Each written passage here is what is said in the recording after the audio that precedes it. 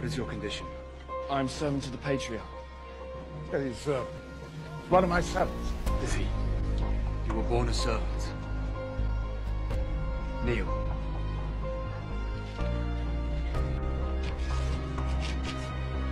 Every man at arms, all capable of bearing them, kneel!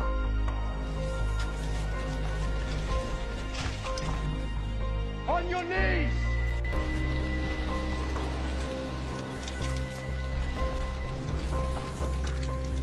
Be without fear in the face of your enemies.